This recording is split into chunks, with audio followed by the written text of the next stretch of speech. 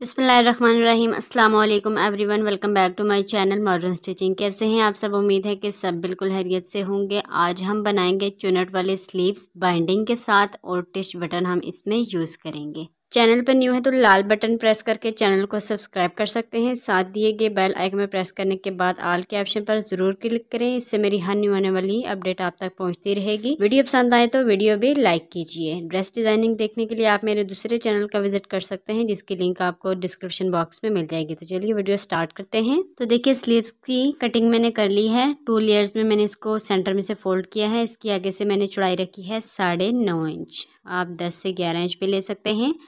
अब हम इसे पूरा खोल लेंगे और बड़ा टांगा करके हमें इसमें दो सिलाइयाँ लगानी हैं। एक सिलाई बिल्कुल कॉर्नर पे लगाएँगे, फिर टू पॉइंट का गैप छोड़ेंगे और दूसरी सिलाई लगाएँगे। अच्छे गैदर्स बनाने के लिए आप हमेशा दो सिलाइयाँ लगाएँ, इससे आपका धागा भी नहीं टूटेगा और गैदर्स भी अच्छे बनेंगे।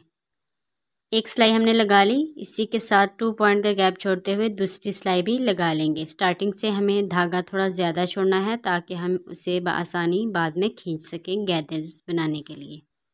तो देखिए, इस तरीके से हमने दो सिलाइयाँ लगा ली। अब एक तरफ़ हम इसमें नोट लगा देंगे, यानी गिरा लगा देंगे, ताकि धागा हमारा फिक्स हो जाए अच्छी तरह, ठीक है?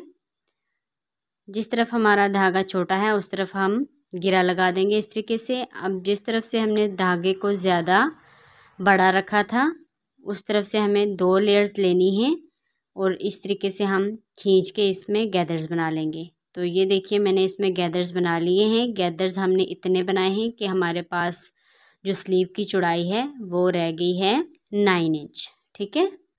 यानी गुलाई में आठ इंच हमारा स्लीव रेडी होगा, एक इंच हमारा आएगा सिलाई में तो टोटल हो गया नाइन इंच, ठीक है? दूसरी तरफ़ भी अब हम इसमें गिरा लगा के इसको अच्छे से फिक्स कर देंगे ताकि गैदर्स हमारे खुले नहीं।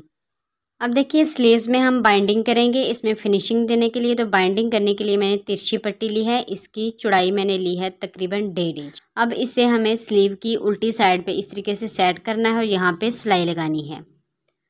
गैदर्स बनाने के लिए हमने जो दूसरी सिलाई लगाई थी, उस सिलाई के बिल्कुल ऊपर हमें ये सिलाई लगानी है और इस पट्टी को अटैच कर लेना है।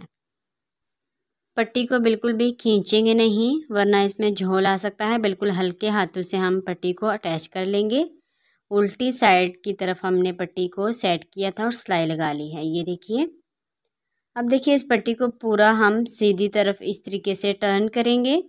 एक दफ़ा इसको फ़ोल्ड करेंगे, फिर दूसरी दफ़ा इस तरीके से फ़ोल्ड करके इस पर किनारे पे सिलाई लगा लेंगे। दोनों सिलाइयों को हम कवर कर लेंगे, जो हमने गैदर्स बनाने के लिए लगाई थी। ठीक है, ये देखिए।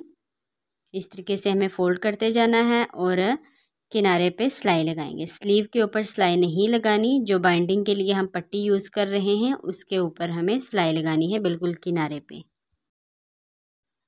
तो देखिए, इस तरीके से हम अंदर की तरफ़ फोल्ड करते जाएँगे। दोनों सिलाई को हमें कवर करना है। सिलाई सामने की तरफ़ नज़र नहीं आनी चाहिए एक्स्ट्रा पट्टी को कट कर देंगे। उस सिलाई को कंप्लीट करेंगे।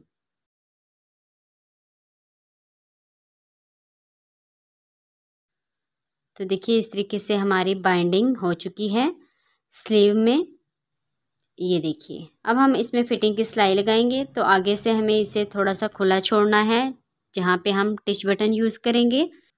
तो देखिए, इस तरीके से फ्रंट से अंदर की तरफ़ हम अढ़ाई इंच पे निशान लगाएँगे और चौड़ाई में हम निशान लगाएँगे सात इंच पे।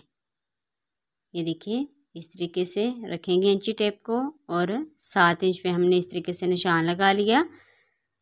चौड़ाई में हमने निशान लगाया सात इंच पे और लंबाई में हमने निशान लगाया है अढ़ाई इंच पे, ठीक है? अब इस निशान से हमें सिलाई को स्टार्ट करना है।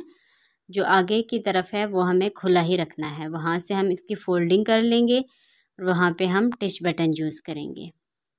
तो देखिए, इस तरीके से हम एक इंच सिलाई में दबाते हुए इसमें फ़िटिंग की सिलाई लगा लेंगे।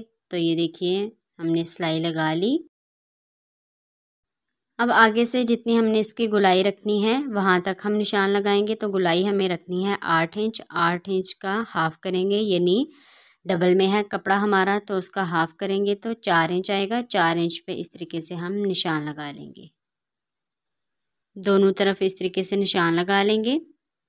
अब चार इंच से आगे की तरफ़ जितना हमारा एक्स्ट्रा है, उसको इस तरीके से हमने फोल्ड करके सिलाई लगा लेनी है। अढ़ाई इंच तक जहाँ तक हमने निशान लगाया था, वहाँ पे हमने इस तरीके से वन इंच अंदर की तरफ़ कट भी लगा लिया है। ये देखिए, ठीक है?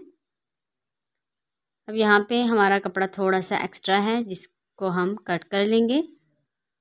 अब यहाँ से हम इसकी फोल्डिंग करके सिलाई लगाएँगे। सेम उसी तरीके से हमें सिलाई लगानी है, जिस तरह से हम कमीज़ के चौक में सिलाई लगाते हैं ना, फोल्डिंग करके, सेम इसी तरीके से हमें यहाँ पे भी सिलाई लगानी है।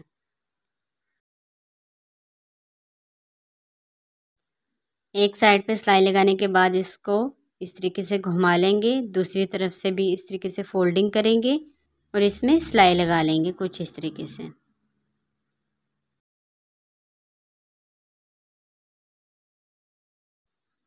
चार इंच तक हमने निशान लगाया था उससे आगे जितना हमारा एक्स्ट्रा होगा उसको फोल्डिंग करके इस तरीके से सिलाई लगा लेनी है।